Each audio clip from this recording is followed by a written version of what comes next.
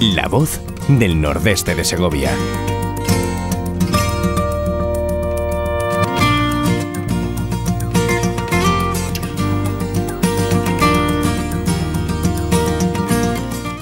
Amigos, buenos días otra vez y nuevamente os doy la bienvenida aquí a Nordeste Radio.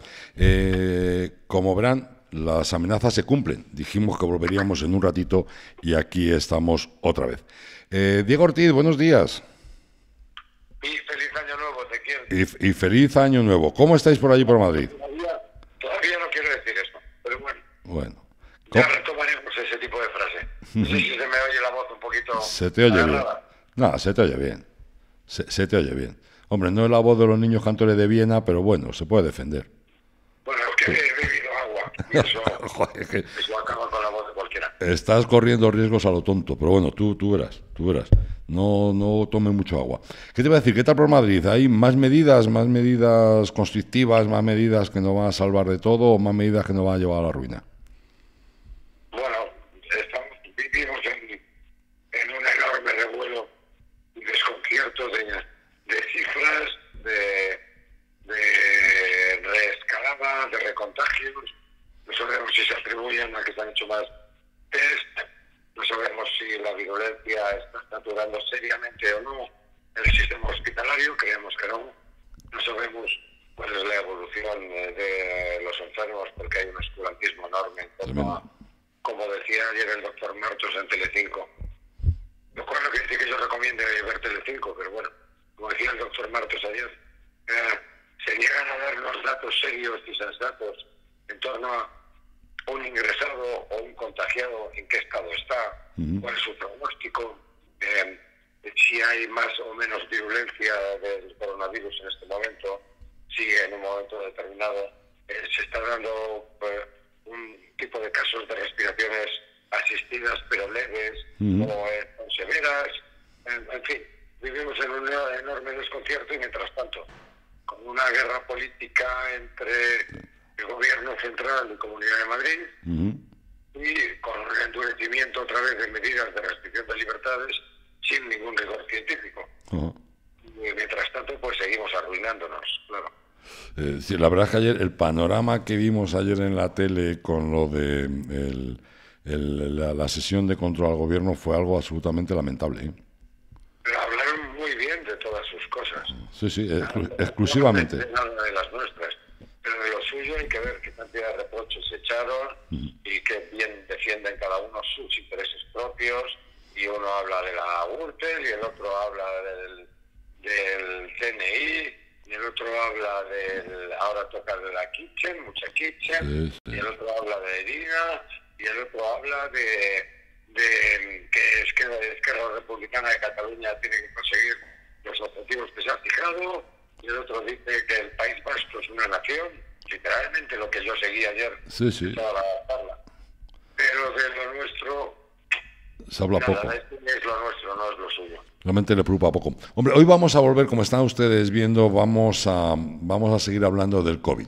La verdad es que en Biocambio queremos hablar de muchas cosas y tenemos muchas historias con las que nos apetece, nos apetece hablar, pero indudablemente la actualidad está ahí.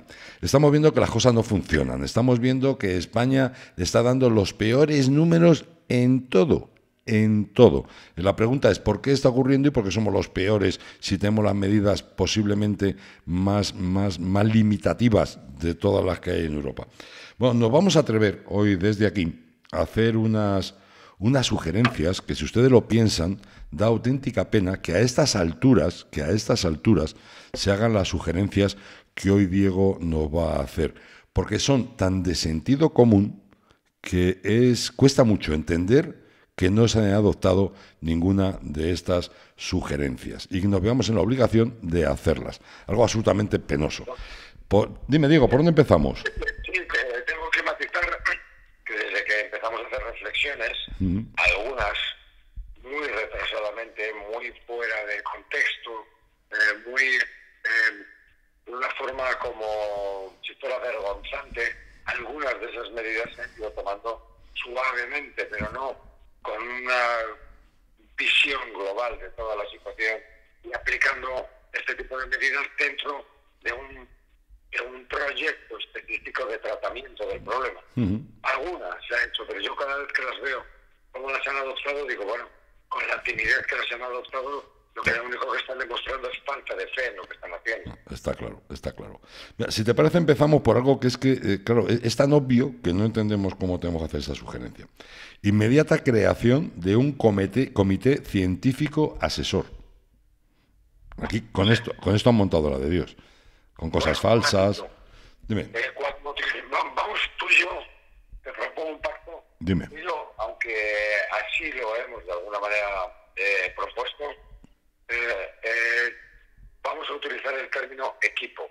Vale. Porque la palabra comité, sí, comisión, gabinete, ya sabemos todos que tiene una carga de ineficiencia desde el punto de vista administrativo gigantesco. Esto de... eh, la solución de un problema a través de un, comité. De, formas de actuar específicas o crear un comité para no resolverlo. Totalmente de acuerdo. Es decir, creación de un equipo científico asesor. El hecho es que eh, eh, el Estado soberano, la nación, el Reino de España, como gran potencia, como hablábamos el otro día, pues está eh, tomando decisiones de un rigor científico durísimo, sin ningún tipo de asesoramiento más allá de confundir el tener a a tu lado un equipo con los mayores especialistas. En este caso, hacen falta hasta neurobiólogos, pero desde luego virólogos, especialistas en enfermedades infecciosas, eh, eh, por supuesto eh, biólogos moleculares, por, supuesto médicos de campo, por supuesto, digo en cuanto, a, en cuanto al tema científico, sí, sí, sí, por supuesto gente que, que es una autoridad en su materia, que ha publicado montones de artículos, que dirige equipos de investigación muy serios, que trabaja en laboratorios, que está todo el día mirando por un microscopio electrónico y haciendo barridos y haciendo pues, eh, eh, todo tipo de operaciones en torno a, en torno a, lo que son desde microfiltrados a eh, no sé, invéntate cualquier tipo de, sí, sí, de, prueba de, investigación. En vez de tener a estos tíos que dicen, oye, cuidado, que la, la, superficie lipídica del coronavirus, ya que es un virus de la familia corona, tiene un tipo de proteínas específicas que se acoplan a un tipo de receptores y además eh, no pasan de los de un diámetro de, pues, imaginémonos, 85 nanómetros. Todo lo que estamos haciendo con este tipo de mascarillas que estamos adquiriendo va a tener este tipo de efectos, pero no va a tener otros. Y somos las autoridades en la materia. En vez de eso, tenemos un equipo de gobierno que toma las decisiones rodeado de unos señores que son funcionarios y además puede que sean buenos funcionarios, funcionarios del ministerio, que son los que presentan como expertos y que pueden presumir de haber hecho una oposición al cuerpo del, pues lo que sea, al, nivel alto de la administración, al de, al de funcionarios clase A o clase B, con un nivel 28 o un nivel 30, que tiene una oposición muy complicada en el cual le pedían un montón de materias y además eh, con, un grado de exigencia alto, pero que tenían que ver pues con el derecho administrativo o con, a saber, o con estructura financiera. Esos señores son los que nos están haciendo pasar por expertos. Estos señores no, no han pisado un laboratorio en el 99% de los casos y aunque lo hayan pisado, no viven en él. Ese es el problema. Entonces, toda la cobertura que están dando a las medidas rigurosas, eh, coercitivas, punitivas, que nos están eh, sistemáticamente aplicando, no tienen ningún respaldo. Científico severo. Y entonces, por eso lo han ocultado, claro, ellos tenían unos asesores, no tenían un equipo de expertos calibrando en todo momento que si la distancia de seguridad es un metro y medio, no es lo mismo tenerla dentro de un recinto en el cual resulta que hay extracción de aire, y no es lo mismo una extracción de aire que una ventilación, no es lo mismo una ventilación que una impulsión de aire, no es lo mismo un circuito cerrado, no es lo mismo un sistema de aire acondicionado con un split system, y además que todos esos flujos, porque en, ese equipo de expertos hacen falta incluso físicos, en ese flujo de, de fluidos, que el aire siempre es un fluido, resulta que los aerosoles y las micropartículas y las partículas sostienen los virus de una forma concreta. Todo eso no ha existido ni les importa. Ellos han dicho, pues ahora vamos a, yo qué sé, a prohibir las reuniones de más de seis personas.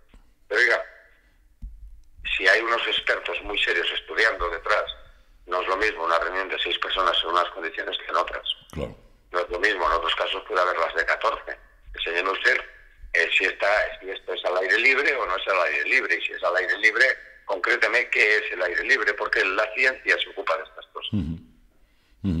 Pues no, eh, están tomando decisiones en vez de crear ese equipo de expertos que nosotros decimos que tiene que estar formado por premios Nobel para arriba, que tienen que estar pegados a las personas que toman decisiones, tienen que estarles diciendo a la oreja continuamente, cuidado, esto sí, esto no. Aquí nos quedamos cortos, aquí nos quedamos largos. Y además sus conclusiones, como decimos, no deben ser vinculantes, pero deben ser públicas. Claro. claro. pero eso, eh, eso, eso es ciencia ficción, el que aquí se haga algo público es ciencia ficción. Bueno, cuando vemos en las películas que alguien para tomar decisiones estratégicas de cualquier tipo está rodeado de cinco o seis personas corriendo, aunque sea en aterriza como puedas, acuérdate Qué buena. cuando están intentando dirigir el avión desde el centro de mando, desde la torre de control, hay siete, ocho personas diciendo chorradas para arriba y para abajo, y corriendo, y cada uno tomando determinaciones, o con lo que es en Cabo Cañaveral, el equipo gigantesco que hace que una nave al final se aterrice en Marte, aterrice en Marte a, millones y millones de kilómetros de distancia. Eso es justo lo contrario de lo que está haciendo el, nuestro flamante, flamante eh, eh, gabinete del gobierno, como que hemos llamado, mando único, lo que sea. Pero, pero fíjate, fíjate, Diego, que estamos hablando de la inmediata creación de un equipo científico, eh, científico asesor, pero claro, luego habría que montar otro equipo que de alguna forma evaluara las decisiones de, este equipo anterior y las consecuencias que podía tener. Claro, em, eh, los equipos tienen que trabajar en, en múltiples áreas, entonces hay unos científicos sañudos, brillantísimos, cargados de medallas por todos sus trabajos durante un recorrido eh, profesional muy largo, que están diciendo, oye, efectivamente seguimos hablando de estas micropartículas o esta, o esta capa lipídica o, eh, un poco las circunstancias específicas, concretas, y eh, la solución máxima cero es confinar a toda la población de por vida. Eso desde el punto de vista de excelencia científica es correcto.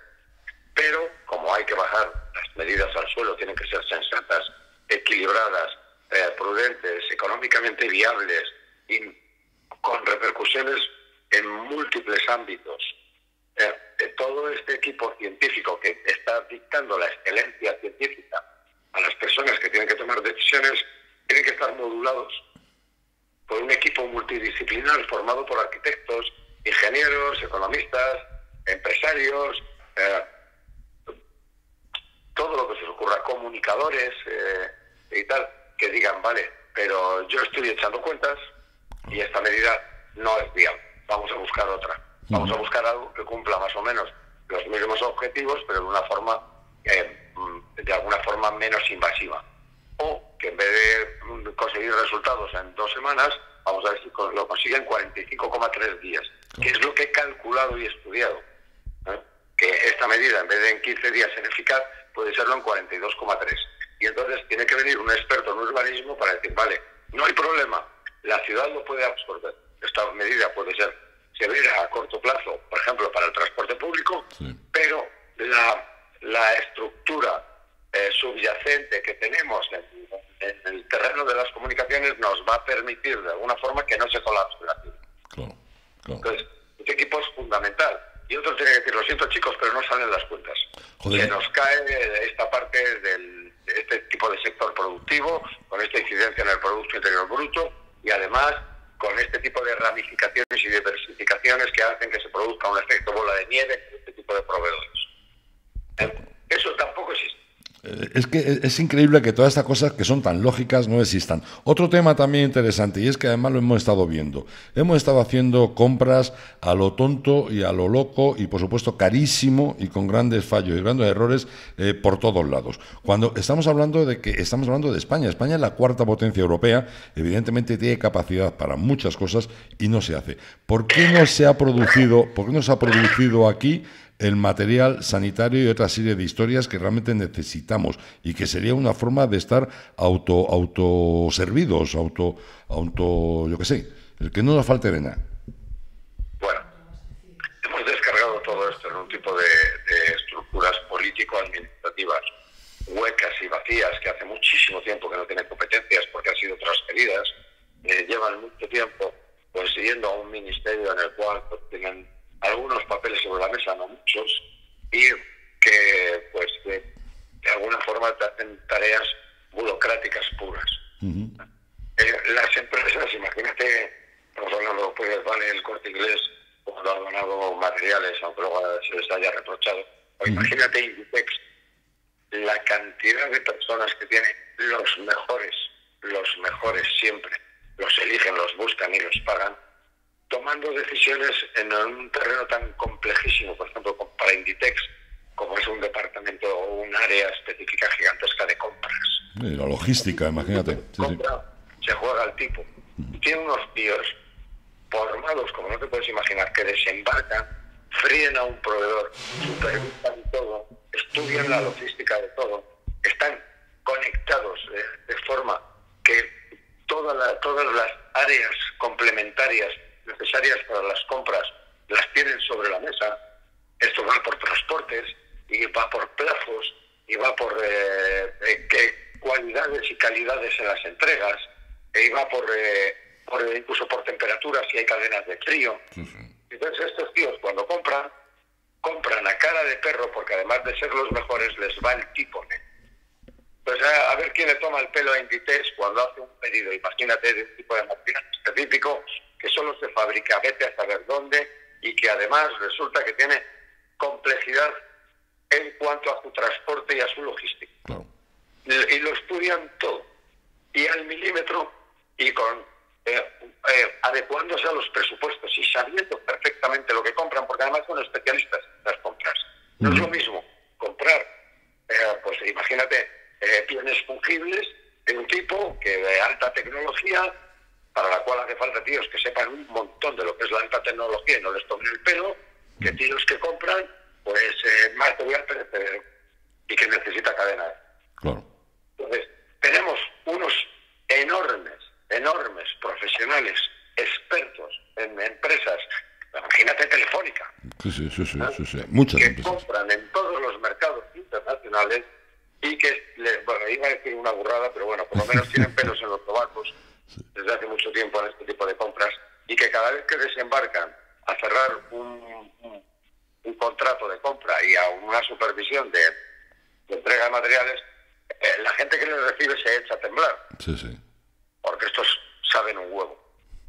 Y en vez de eso, nosotros hemos cogido a través de un ministerio hueco y vacío de unos funcionarios que llevan toda la vida encima delante de una mesa eh, rellenando expedientes y les hemos encargado que compren en el mercado quizá más complejo de la historia de los últimos 50 años. Y en una situación tremendamente complicada, una situación muy especial. Ahora, vamos a comprar... ¿Y eso qué? ¿Vamos a comprar Vamos a comprar, bueno, lo de las mascarillas de Ha, sido de risa. Vamos a comprar mascarillas. Y de repente dicen, 60 toneladas, pero nos han tangado. Lo hemos hecho a través de unos intermediarios, pero es que los buscamos en internet y decía que eran muy buenos. O, son de unos amigos, como ha surgido en este caso. Eh, eh, eso es. O, piensa mal, o piensa mal y acertarás.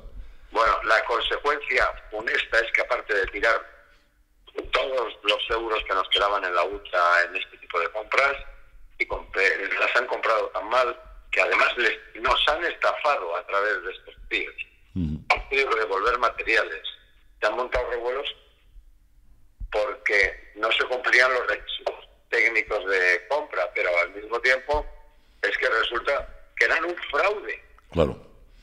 ¿Tú te imaginas cuánto dura el responsable de compras de Inditex o de ferrovial, si resulta que están comprando una maquinaria complejísima para una obra civil gigantesca en el canal de Panamá, y hay un idiota que no sabe comprar esas cosas y les engañan, Pues, pues dura lo que ¿cómo dura. este departamento? Pues dura lo que dura, en cuanto se entera. Pues esto es lo que hemos hecho nosotros gracias a nuestros magníficos dirigentes. Fíjate, y hay otro tema, tú has visto que ahora ha salido la noticia de que se ha paralizado la vacuna, la vacuna de Oxford, una vacuna en la que teníamos muchas esperanzas, una vacuna en la que ya de alguna forma teníamos comprometidas ciertas compras.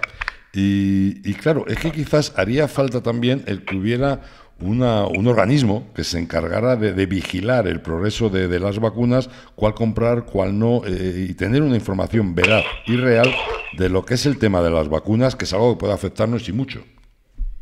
Vale. Eh, aquí eh, tengo que hacerte un- una matización primero en torno al tema de las vacunas y eh, si tienes tiempo y nuestros oyentes les apetece aguantar un poquito el tirón, Ajá. tendríamos que matizar algo el papel de los medios de comunicación en todo esto. ¿eh? Sí, Eh. es, es que es un tema para tratar aparte el papel de los medios de comunicación que estamos viviendo. ¿eh? Sí. Bueno. Todos los estudios, eh, cuando entran en fase 2 y fase 3 en torno a, a medicamentos, tienen un rigor, a veces excesivo, ¿eh? Pero tienen un rigor muy alto en cuanto a las garantías de seguridad eh, del, producto, del fármaco, de la vacuna antes de ponerla en el mercado. Esos estudios de campo, lo sabemos científicamente, son muy complejos, hay que distinguir muy bien eh, los sesgos y además hay que garantizar eh, de alguna forma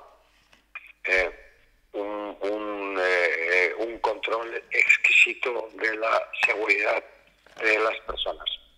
Eh, hemos retrocedido algo, aunque hemos mejorado mucho en cuanto a este tipo de experimentación, porque de verdad hemos ganado desde el punto de vista civilizatorio y desde el punto de vista ético, evitando lo que antes se hacía, eh, que desde el punto de vista práctico era mm, inmejorable, que era la experimentación animal. Sí. Desde el punto de vista práctico era inmejorable, pero éticamente muy cuestionable. Entonces ahora eh, los protocolos son muy rigurosos. Antes sabemos que se torturaba animales hasta límites inconcebibles y se sacaban conclusiones rápidas eh, sin más sin más problema que abrir entero en vivo al animal, o- pero vivo, Sí, sí. o torturarle atado durante 15 años mientras le ibas haciendo de todo. Esto ha pasado con monorresus y ha pasado con tal. Ahora los protocolos son muy complejos y hay que distinguir muy bien los, los sesgos. Eh, por eso el, el alarmismo y los titulares de los medios de comunicación, que hablaremos en algún momento, Sí. están haciendo un flaquísimo favor a todo esto. Si tú coges a 50.000 voluntarios de los cuales ni siquiera sabemos cuáles son, de que el grupo de control y se le está dando un placebo y los que- cuáles son los que están siendo eh, utilizados para probar eh, el medicamento, la vacuna, lógicamente entre 50.000 personas va a haber tíos, Ujú. pues eh, calcula 1.200 personas que van a morir de cáncer o que van a desarrollar un nuevo cáncer. Otros que van a tener un problema del estilo que sea, o van a contraer una gripe. Otros que van a tener un problema cardiológico, o incluso van a tener un infarto, o van a morir durante la prueba. Porque son 50.000 personas. Alguien se va a morir de esas 50.000 personas. Y alguien se va a infectar de otras cosas durante el tiempo que corresponda entre 50.000 personas, aunque solo sea por ley de grandes números. Entonces, distinguir si de esas 50.000 personas que tienen vidas y tienen vidas biológicas propias, con recorridos propios, que con vacuna y sin vacuna, se van a producir, que van a de repente a tener un cáncer de mama, ahora hay que estudiar muy bien si ese cáncer de mama está vinculado al medicamento o ese cáncer de mama es parte de su recorrido biológico natural. Es que nadie, porque entre en un, en un experimento de este estilo para testar una vacuna, tiene la garantía de que no va a desarrollar un cáncer de mama. Sí, Pero no por la vacuna, sino porque a esa persona le va a tocar tener un cáncer de mama. Entonces, separar muy claramente y estudiar muy claramente que- qué efectos específicos del medicamento inciden como etiología, o sea, como, como generación del problema y cuáles no tienen nada que ver es complicado. Mucho. Una persona ha desarrollado eh, una, creo que ha sido una, una mielosis, Sí. una, una enfermedad que afecta a la mielina y lógicamente a la glía que, que rodea nuestras neuronas. Ahora, esto es por la vacuna o no es por la vacuna. Claro. A una persona le ha atropellado un camión. Sí, bueno, eso Vale. claro, pero claro. le ha atropellado el camión porque no miró antes de cruzar o porque de verdad la vacuna le creó una zozobra en ese momento o un vértigo de Menier, un no sé cuántos y de repente se quedó muerto delante del camión. Una persona tiene un infarto, pero es porque se ha estresado el sistema cardiológico a través de la vacuna o porque es que este tío de 50.000 personas a este le iba a tocar un infarto. Y además, algo importante, ¿este tío era del grupo de control y se le había dado un placebo? O Eso es eran los que han experimentado la vacuna. Entonces, todo eso ahora, con los medios de comunicación encima, creando alarmismo, genera unos focos gigantescos de atención que desvirtúan la realidad del- de las investigaciones. O sea, no estamos dejando trabajar a la gente que tiene que hacer este trabajo. Estamos todo el rato encima de ellos con un interés voraz, pero al mismo tiempo morboso, intentando sacar un titular. Y eso significa que terminamos leyendo que se ha paralizado la investigación Eso- del grupo de Oxford. Eso es una barbaridad. No sé, que no se ha paralizado, que se hace siempre así. Claro, claro. Que cada vez que surge algo de ese estilo, que para eso están las pruebas, resulta que echate una paradiña, se suspende provisionalmente la aplicación de nuevos fármacos a nuevos grupos y se investiga directamente que para eso está, porque se ha producido claro. Eso es absolutamente normal, siempre. Y no significa paralización de nada. Bueno, lo que Así sí. Sí, sigue, sigue. necesitamos científicos que expliquen esto con normalidad diciendo, oye, tranquilidad, que aparte de que le haga mucha ilusión a Antena 3 o a Telecinco sacar este titular y ser los primeros, o el español, o vete a saber qué medio virtual, o vete a saber qué, qué friki que está dando noticias por ahí, esto es súper normal. Y nosotros somos científicos y le podemos decir que esto es normal, estén ustedes tranquilos, hombre. No pasa, no que, pasa que nada. estas investigaciones son así. Hombre, hay que entender que todos estos comités que hemos comentado ahora, no comités, sino equipos que hemos comentado hasta ahora, qué duda cabe que tengan que ser reducidos y ágiles, no que se pierdan por ahí en tema de, de que dure años el mismo tema. Luego vamos a pasar a un tema que, que- que se ha hablado mucho, mucha gente se ha quejado y al final pues parece ser que no conseguimos hacerlo. Y es eh, la toma del control real de los aeropuertos. Es que, de verdad, esto es una y que me perdonen los histéricos que se escandalizan en cuanto dices cualquier tipo de expresión natural nuestra. Esto es una, está bien dicho, una merienda de negros. Es una expresión coloquial que siempre hemos utilizado. Sí, sí. Esto es una eh, locura de competencias y de pase de trastos de unos a otros sin asumir responsabilidades hay cuestiones que son absolutamente severas.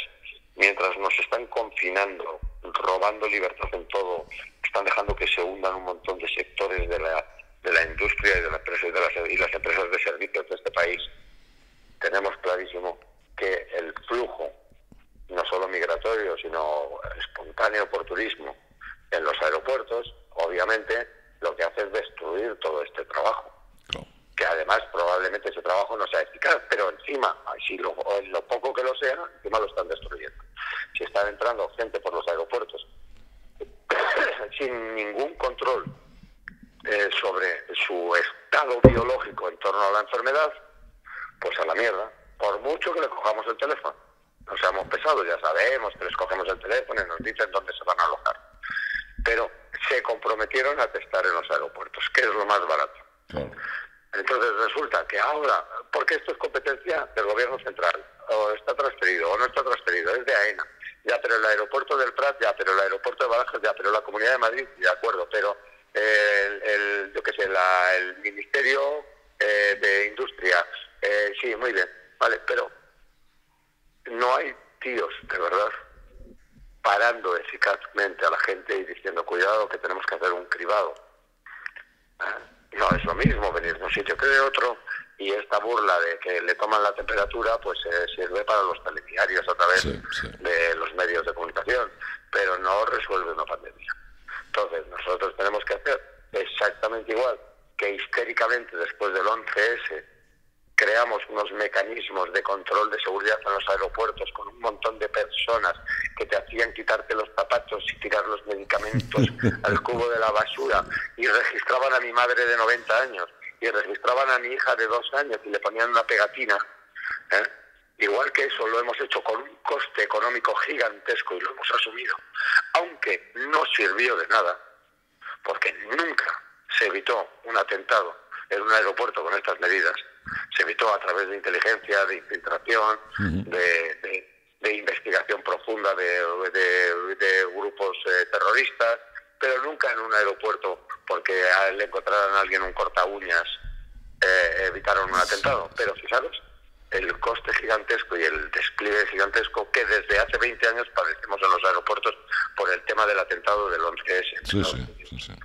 Pues por las mismas, con muchísimo menos coste y mucho más fácil, podríamos tener un equipo civil por la salud de todos, simplemente controlando que no se nos cuele gente infectada que vuelve a reiniciar el ciclo. Pero como son unos incapaces, pues han hecho una farsa y una burla que todos los que hemos pisado un aeropuerto sabemos que es ineficaz y que además eh, es que no existe. No están tomando medidas, que es lo más barato. Entonces, eh, con ese tipo de boquetes de nuestra gigantesca administración, pues seguimos siendo los mayores fracasados del planeta. Es otro elemento más. Es así, es así, es así. El tema del aeropuerto es importante y no hemos hecho nada. Oye, ¿qué me cuenta del Ministerio de Asuntos Sociales? ¿Qué, qué, qué, qué, hace? ¿O qué debería hacer, mejor dicho, porque no está haciendo nada? ¿Qué, no piensa hacer? Claro. ¿Qué no le importa? ¿Qué no va a hacer? ¿Qué no sabe hacer? ¿Y cuáles son las dramáticas y terribles consecuencias de, este, de esta burla a la inteligencia? Eh, en teoría, tenemos una población de personas mayores, eh, a veces decimos clase pasiva, es terrible decirlo así. Sí de ancianos, de personas eh, que tienen unas patologías clarísimas, unas son médicas y otras son sociales, pero que en cualquier caso están muy desprotegidas. Médicamente, lógicamente, la edad conlleva eh, cuadros eh, severos desde el punto de vista clínico, polipatologías asociadas a la edad y asociadas a los hábitos de vida y asociadas a todo asociadas desde a, la contaminación, al tabaco para los que le haga ilusión, a las grasas, al envejecimiento, a, todo lo que se nos ocurra. Que desde el punto de vista médico son una población que hay que atender muy específicamente y que requiere unos cuidados y unos costes de atención altos. Y luego también son personas socialmente muy castigadas, porque por mucho que luego veamos otra vez en los telediarios, es verdad que hay familias que cuando tienen a su padre o a su abuelo en una residencia, que están muy pendientes de él y creen que es que esa residencia es donde mejor puede estar. Pero por mucha hipocresía que le pongamos al tema, el hecho real es que también hay muchísimas familias que en vez de dejar al abuelo en una gasolinera en verano para irse de vacaciones, como digamos antes ocurría, y ocurría, y ocurría lo aparcan en una residencia y lo entierran en una residencia y se olvidan esa patología social también existe. Por mucho que luego salgan desgarrándose muchas familias en las puertas y diciendo que van a demandar al gobierno. Pero sí es, cierto, sí es cierto que muchos utilizan las residencias como aparcancianos, ¿es verdad? Pero en teoría tenemos un Ministerio de Asuntos Sociales que encima está asociado a una vicepresidencia de gobierno, capitaneado y patroneado por un señor con una enorme sensibilidad social, preocupadísimo por eso, que lo primero que hizo cuando resulta que le tocó en esta pandemia ser el vicepresidente de gobierno y el ministro de Asuntos Sociales, Quítase de inmediatamente una patada en la mesa y dijo, señores, es los ancianos son asuntos sociales.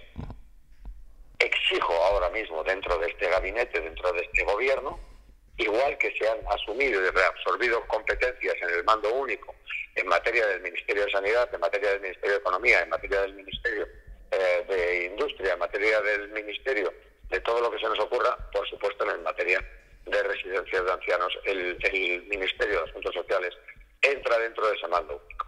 Y vamos a estar encima. Voy a visitar todas las residencias, voy a ver todo lo que hace falta, como está haciendo Madrid. Y me voy a ocupar de todo, pero mis ancianos, nuestros ancianos, no van a estar desprotegidos. Bueno, pues eso no se hizo. Este señor no hizo nada. Este ministerio no existió este señor se ocupó de entrar en el CNI. Sí, que, para él es mucho más importante. En el CNI quería ver los secretos de Estado, es lo que le importaba. Y el Ministerio de Asuntos Sociales no ha existido. El ministro no ha pisado una sola residencia para interesarse por nuestros ancianos. Y el fracaso, desde el punto de vista médico y humano, en las residencias ha sido de tal calibre que para qué queremos un Ministerio de Asuntos Sociales. No es que las competencias están entregadas a las comunidades. Oiga, también estaban las sanitarias. Y las laborales. Y las laborales. Y las asumieron ustedes dentro del control integral de una pandemia. En vez de eso, hemos tenido que tirar puertas abajo con cadáveres hacinándose en residencias en las cuales no sabíamos ni qué ocurría. Mientras no tenemos ni un solo dato de lo que ha hecho el Ministerio de Asuntos Sociales. Deberíamos pedir la agenda del Ministerio de Asuntos Sociales. No, tenemos de muchísimas cosas. Para evitar que nuestros mayores mueran. ¿eh? Y en unas condiciones dramáticas, con una falta de humanidad gigantesca. Oye, eh, tendríamos que retomar, pase lo que pase, eh, las riendas y empezar a hacer desembarcos muy serios, coordinados con las comunidades autónomas en las partes, que las competencias se mantengan en las partes, que se reabsorban, para decir, oiga, aquí esto en España en el siglo XXI no va a ocurrir. Aquí nuestros ancianos van a tener transparencia, limpieza, ayuda, servicios y medios, que es lo más barato. ¿Qué, menos? ¿Qué menos que ponen sus ancianos? ¿Qué menos? ¿Qué menos? Bueno, pues tenemos que tener, reactivar urgentísimamente ese ministerio y además en algún caso pedir responsabilidades serias, eh, incluso penales a sus, responsables. ¿eh? Ya, ya veremos, por el tema de la justicia es otra cosa. Oye, otro tema que... Pero eso a, posteriori, pero, pero cuidado. Eh, y aquí, aquí sí que me gustaría hacer una llamada que a alguno le va a escandalizar. Eh, cuando empiezan a caer cascadas de demandas de familiares por el estado de sus ancianos, tendremos que cribar también, tendremos que separar la paja del heno. Y entonces tenemos que pedir a, todas estas familias que legítimamente reclaman, tenemos que pedirles que aporten, por favor, o tenemos que pedir a las residencias que aporten libros de visitas. A ver si ahora va a haber un montón de personas desgarrándose vestiduras y pidiendo indemnizaciones a todos nosotros que no tenemos dinero para pagar, cuando resulta que comprobamos en el libro de visitas que la persona que ha muerto y a la que por la que están reclamando hace un año no, ha sido visitada en dos años. Porque los hay eh claro. hombre entonces, hombre entonces va a haber familias que tendrán derecho a reclamar y una señora o un señor dirá es que yo visito a mi padre todas las semanas y estoy seriamente preocupado por él. Y ahora ha ocurrido esto y he chillado todo lo que he podido y no he conseguido nada. Y mi padre ha muerto en la, en la indigencia, en la miseria, en la ruina de una forma inhumana y tal, y, yo estoy encima de ello. Pero también va a haber muchos que es que se les va a caer la cara de vergüenza y después va a tener que decir, oiga, no solo no le atiendo la demanda, sino que además a lo mejor le proceso a usted por denegación de auxilio. Usted no ha visitado a su padre en dos años, o en tres, o en cinco. ¿Ahora qué me viene? Aquí a, ver qué saco. A ver qué saco. ¿Qué me está contando usted ahora, no? Pero eh. eso, eso, dejando claro que hay de todo, eh, debemos entender que eh, antes de, de, pedir responsabilidades a las autoridades, vamos a tener que hacer una reflexión profunda también sobre nuestras responsabilidades. Yo no he oído como las madres del, de Argentina un clamor de montones de familias eh, que han tomado las ciudades diciendo tenemos a nuestros ancianos en residencias. Y eso tenemos que hacernoslo mirar también, ¿eh? a ver qué ha ocurrido ahí. ¿eh? Por supuesto, bajo la atónita y despreciativa mirada de un Ministerio de Asuntos Sociales y de las comunidades autónomas y de... Y de, todos. Y de, todos, y de todos. Oye, otra cosa, que quería, otra cosa que quería plantearte es el tema de eh, nuestros jóvenes. Ahora parece que los jóvenes son la causa de todos los males. ¿Qué podemos hacer con ello? A veces que esto, como esto es un invento Goebbels. Claro, claro. Bueno, no se lo inventó, lo aplicó muy bien también el sistema soviético y tal. Eh, y, toda la historia de la política está trufada de este tipo de ejemplos. Eh, lo primero que hay que hacer para desviar atenciones es buscarse un, buscarse un culpable. Entonces, lo primero que se ha hecho sistemáticamente es culpabilizar a la población. Esto del enemigo externo o el enemigo interno. En el caso externo es pues que es que los Estados Unidos eh, quieren atacar Corea y la culpa de todo lo que está pasando en Corea la tiene Estados Unidos. El es una. Y luego otra es el enemigo interno. La culpa de todos nuestros males. Yo me llamo Adolf Hitler y digo que la culpa de todos nuestros males lo tienen los judíos, enemigo interno. Entonces, encontramos un grupo eh, a quien culpabilizar y a quien demoler y concentramos toda la carga de culpabilidad que la gente de alguna manera exige desde el punto de vista morboso, la focalizamos en ellos. Entonces, lo primero que se ha hecho ha sido culpabilizar a la población.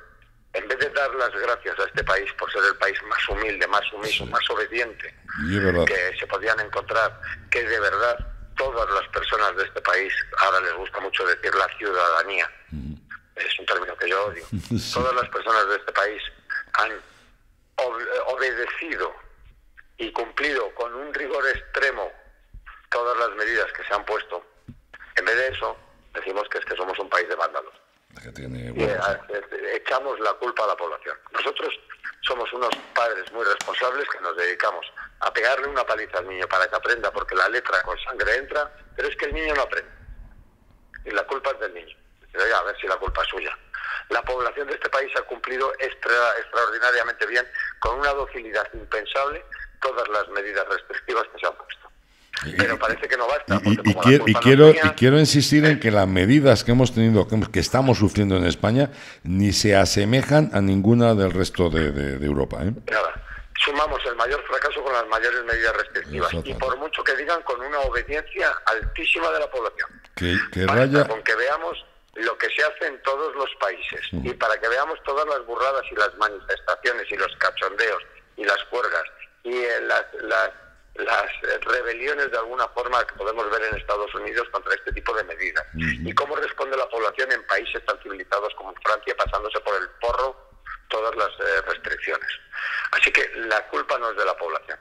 Pero no basta con decir la culpa es de la población, eso es demasiado genérico. Entonces, aparte de culpabilizarnos a nosotros de su incompetencia, se ha buscado un foco concreto, que son los jóvenes. Entonces, claro, es que estos guarros que están todo el están todo el día contagiándonos a todos y nosotros somos eh, absolutamente eh, limpios y nosotros somos súper obedientes y nosotros meamos colonias, pero estos guarros de los jóvenes con los botellones. Pues vamos a prohibir todavía más. Es decir, oye, entendemos, primero, a toda la población juvenil, la entendemos, sabemos que se han comportado de una manera ejemplar, han obedecido y han acatado, han hecho confinamiento, y eh, con 20 años, con hormonas hasta arriba. Que se le salen por las orejas, Con una vitalidad gigantesca y tal, han aguantado meses estoicamente. Ahora llega agosto, ahora yo tengo 20 años, estoy yo como tío rodeado de tías de 18 y 22 y 23. Eso es lo que tú quisieras. Eh, ahora os prohíbo también que os reunáis y que os veáis. Claro, la leche. y eh, restringo el ocio nocturno, no os dejo encerrados en locales, no os dejo sitios normales donde podáis eh, charlar, hablar, reíros y a ser posible frotaros un poco y a ser posible eh, elevar en la tasa de natalidad, ¿sabes? no, no, no solo no, os dejamos vivir y reír y disfrutar de un poco que os corresponde, sino que además os criminalizamos. Sí, sí. Oiga, ¿podemos enfocar esto de otra manera? Podemos decir, señores, eh, nuestra juventud necesita ser juventud. No puede tener un vacío para toda su vida en esta etapa, precisamente por una infección de este estilo. Vamos a colaborar con ellos.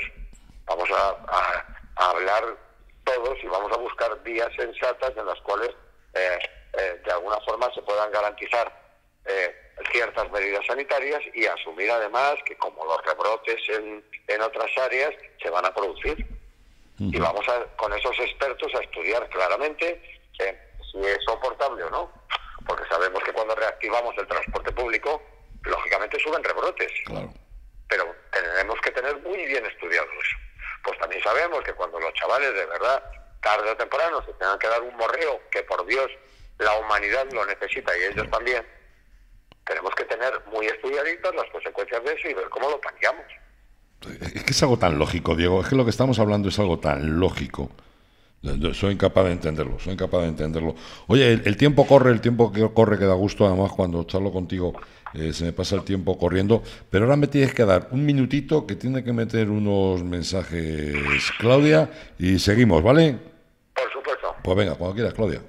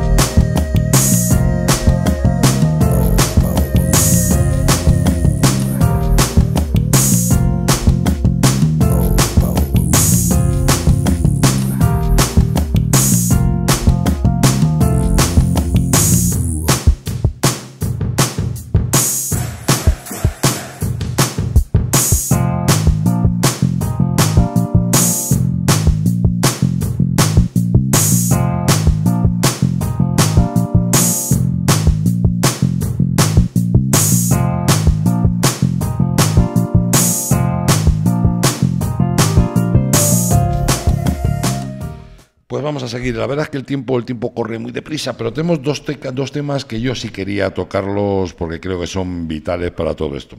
Una, una es el tema de los rastreadores, que nos están contando cada milonga, cada historia. Eh, la media europea no tenía que ver con la nuestra. Eh, siempre estamos oyendo de vamos a hacer, voy a tener, estamos estudiando, pero de realidades poquitas. El tema de los rastreadores, Diego, es un tema realmente importante. Sí, señor. Eh, eh, como vemos en las películas, cuando hay una epidemia, lo primero que hace falta es correr y lo segundo que hace falta es tener mucha información.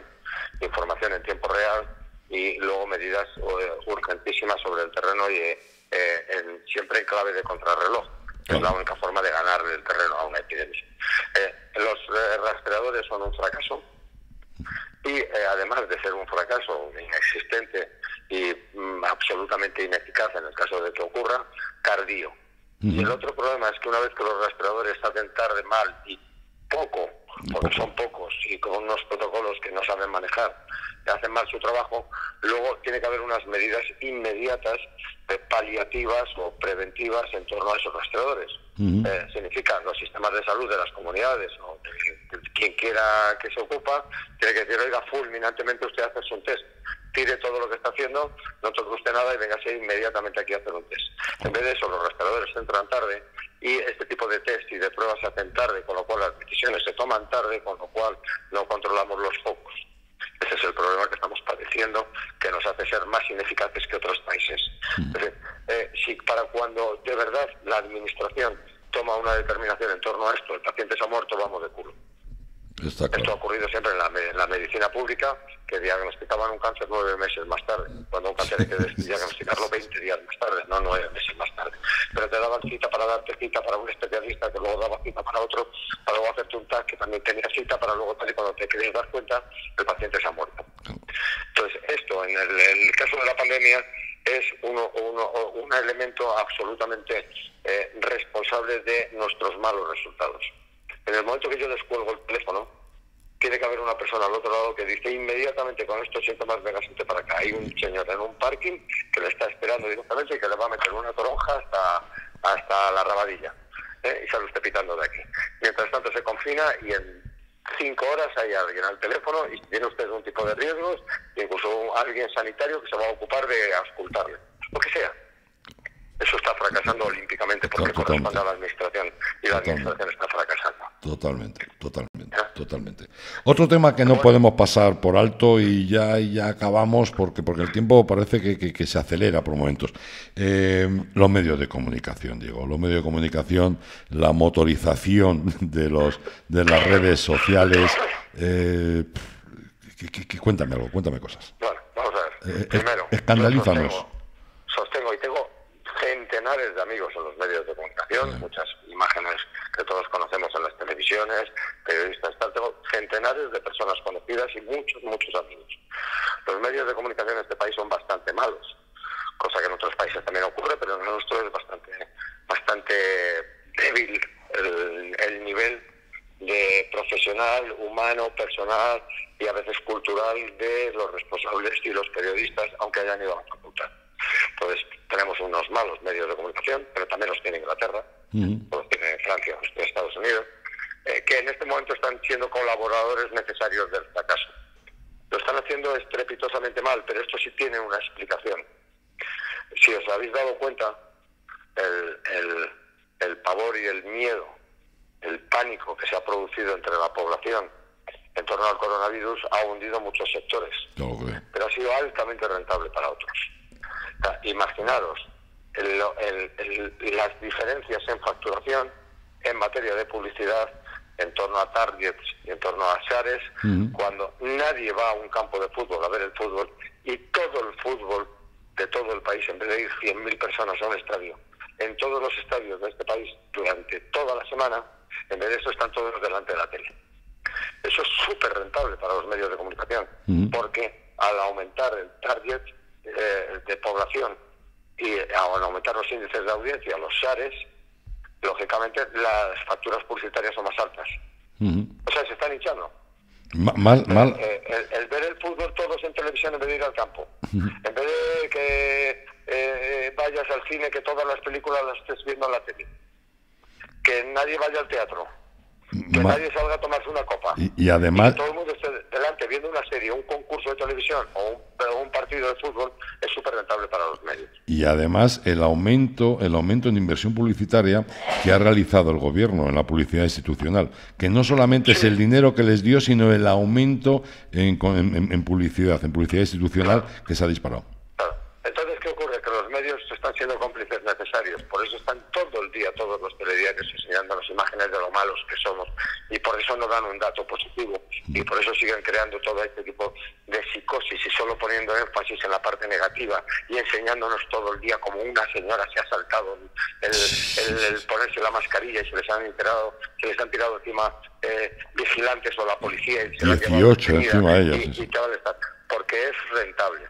Resulta que están, ya no te digo las redes sociales, ya no te digo Facebook, Twitter y todo lo que nos ocurra, pero desde luego las televisiones y los medios de comunicación están ganando más dinero con esto. Con lo cual están colaborando en seguir creando la psicosis que nos sigue enterrando a todos para seguir teniendo medidas restrictivas de libertades no pensables en otros países quieren a todo el mundo, a ser posible toda la vida así. Todo el mundo, todo el día en su casa y que nadie vaya a un campo de fútbol. ¿Que quieres ver fútbol? Pincha Telecinco, Antena o- 3, y- y lo pagas. la 4, la sexta o tal. ¿eh? Y nada más. Entonces, ¿qué están haciendo? Colaborar. Colaborar en sentido negativo.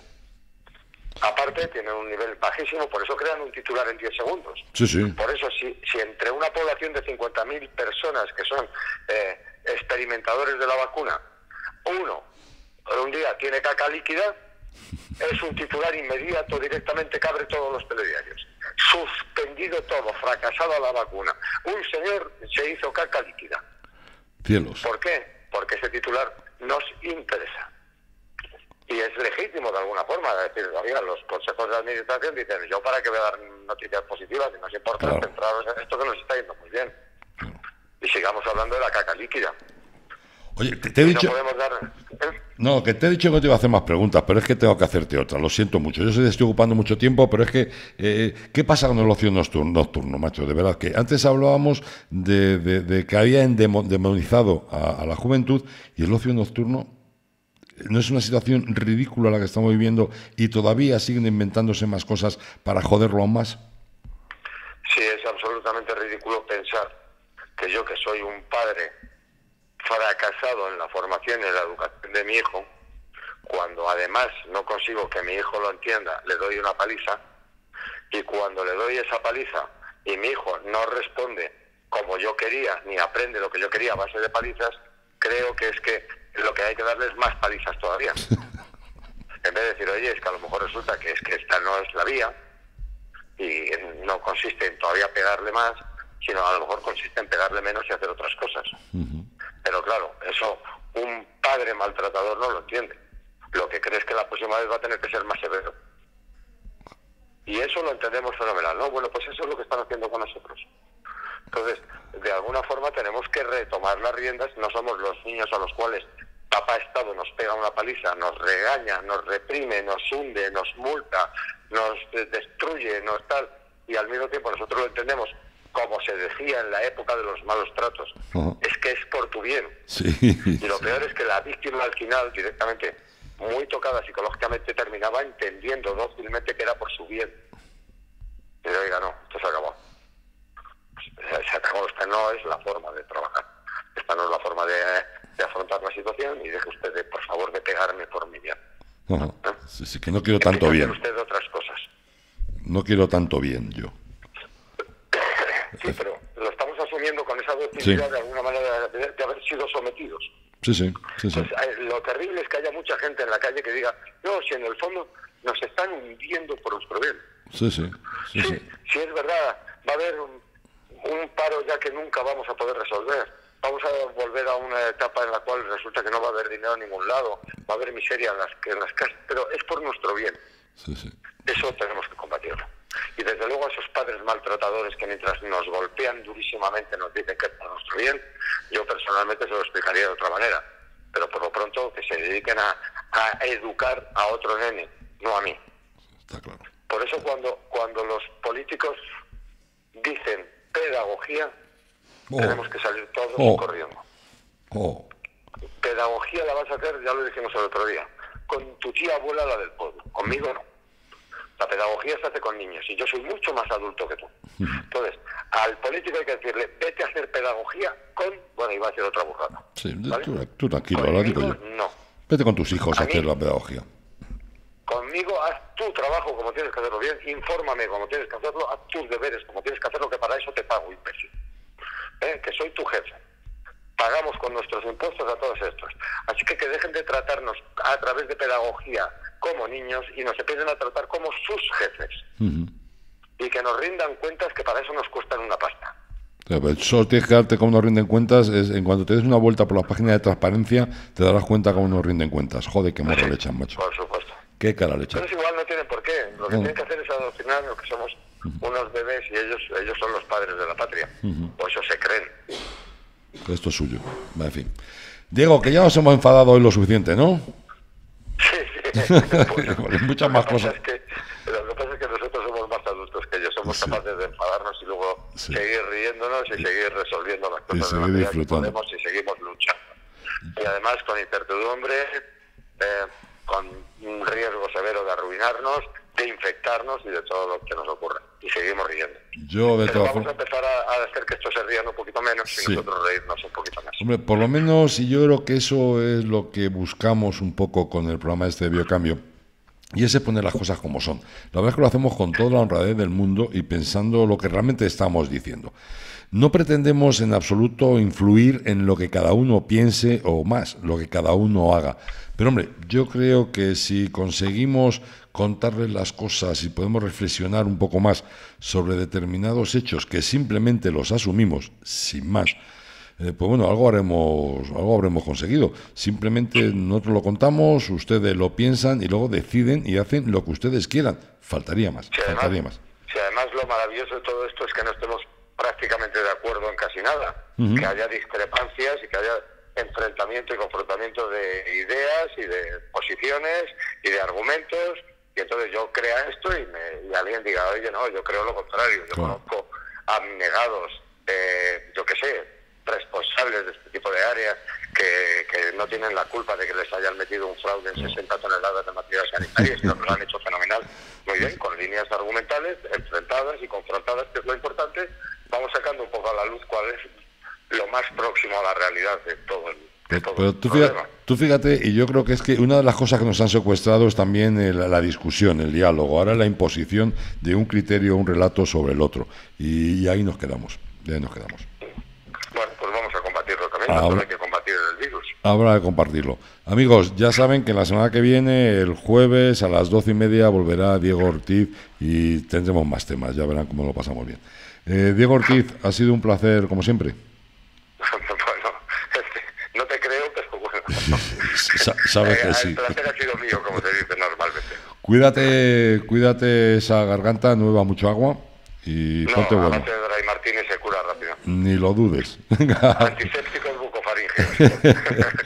un abrazo muy fuerte y gracias. Un fuerte abrazo a todos.